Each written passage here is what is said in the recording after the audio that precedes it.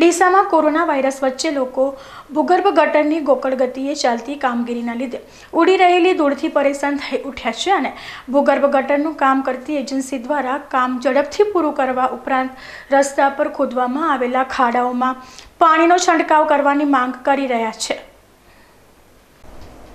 અત્યારે corona virus ચાલી રહ્યો છે અને કોરોના વાયરસને કારણે માસ્ક ફરજિયાત છે.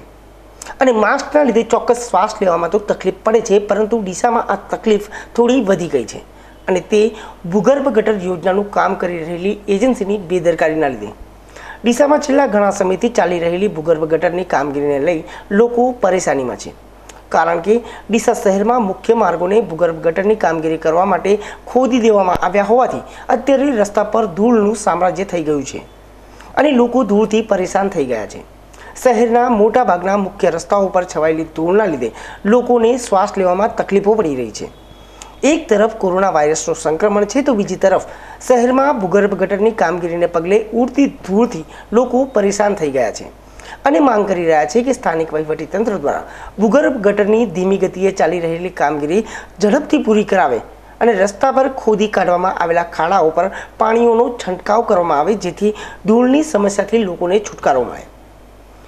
નું કામ ચાલુ હોવાથી માટી ખૂબ ઉડે છે, ત્યાં પાણી છંટાય અને બીમારીના ટાઈમની અંદર માણસોને જોખમ ઓછું થાય એવું ઈચ્છીએ છીએ. અને ખાડા છે, પડેલા છે, એનાથી બાઇકોને નુકસાન થાય, વહેલા તકે પૂરું થાય કામ એવું ઈચ્છીએ છીએ. અહીંયા હેળવામાં કેટલી તકલીફ પડે છે? અહીંયા એક તો માટી ઉડે છે અહીંયા. હવે આપણે એક તો કોરોના વચ્ચે એક તો પહેરીને જવાની એકમાં આંખમાં માટી પડે છે. કઈ રીતના કરવાનું બધું? અહીંયાથી ચાલવાનું કઈ રીતના? કેટલા દિવસ તકલીફ રાખવા પડશે એવી? નગર બાઇક લઈને નીકળો એક માટી ઉડે છે કોઈ બાજુમાંથી જાય છે એક તો ખાડા અને બાઇક ચાલવામાં પણ તકલીફ પડે છે અને માટી આંખોમાં ઉડે છે. અને ઘણી બધી તકલીફો પડે છે શું કરવાનું એના અંદર હવે આપણે? કોરોના વાયરસ વચ્ચે સરકાર દ્વારા માસ્ક ફરજિયાત બનાવી દેવામાં આવે છે અને ખુલ્લા નાક કરતાં માસ્ક હોય ત્યારે શ્વાસ લેવામાં તકલીફ પડતી હોય છે. ત્યારે માસ્કની સાથે સાથે અત્યારે નગરજનોને ધૂળનો પણ ઓવરડોઝ મળી રહ્યો છે. જેના લીધે સ્થાનિકો પરેશાન થઈ ગયા છે.